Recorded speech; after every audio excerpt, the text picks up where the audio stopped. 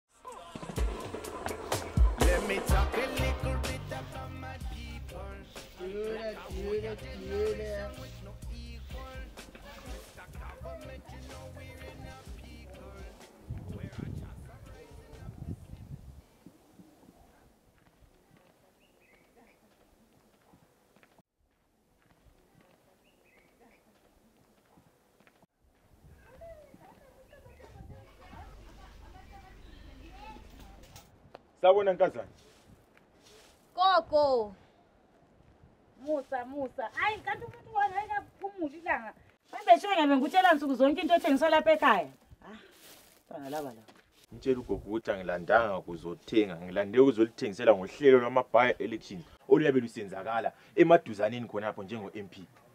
Ubeka kwe politics? Yebo.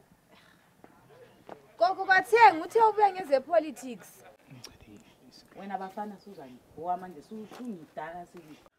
ngicela i-50 pond kuphela masana yazi bafana njengawe wena sula uyahlupha ngiyakunika ngemandi imali yakho. Uyahlupha, Ngifuna bafana. i-50 pond kuphela bafana uyandihlupha wena uzambulala kathi esikhangela u- u- izolo uthetha igwayi lami awubhadalanga namhlanje ufuna ngikuphinde futhi ngicela i-50 pond kuphela. hayi hayi imali leyo siphila ngayo thina akubuye sihambe siyokuzwa ukuthi ubaba lowo ndibiza ufuna ungathola umsebenzi sabona ncu hawu sawona gogo kunjani suphendukile sokuvotwa yini hayi ya sokuseduze kulama-bi-elections alandelayo so mina njengo-m p wenu omuhle ogezayo bengicela lingivoteli mdala ncube ngosuphenduka usungasenamota imota seyaka hayi ukuthi ngasuka ngarishafla so sengirepentile yaresurrecta ngabuya nje mina ngingedwa njengo-m p wenu umsebenzi ukuthi thina siyamvotela simfake esikhundleni engabuya khona usimcinile siyambona after five years isithembiso lokhu esimile sinjalo gogo lalela lina mvotelani uyabona indlu leyi isikotokoto elihlala kiso ngiyalinika amastendi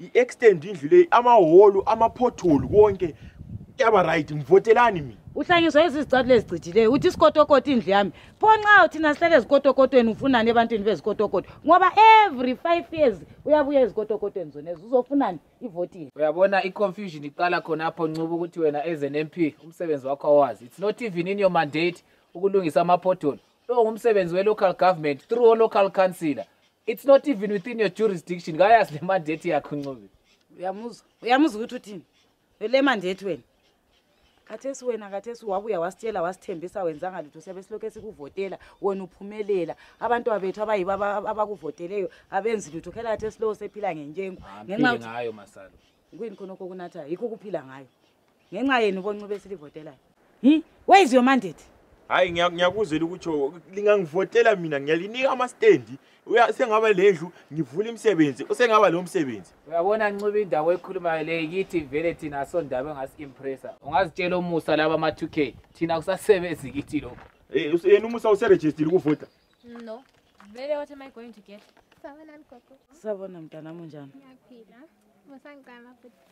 ye njengoba besisakhuluma ukuthi khona khona lo engavota intsha yabo yathola i-free wifi free wifi free wifi ye i-free wifi konke lezikolo lebe selisenza ama- ama-homework enu mahara ngiyalifakela iboost elikhulu elinedukis fast lokuthi nxa livele esikolo engebe ngililungisele izona libuye li-research ama-homework ama, ama, ama, ama homework enu kube fast kakhulu wena sala umlalele loyo uqambela amanga mina uncube ngimsuthi dala simvotela khipha lokho wena usala uthengisa la put your house in order la ngoncube kathi kathi wena ubusu register ukuvota eh ndadle fika wada vote ah Let me talk a little bit about my people.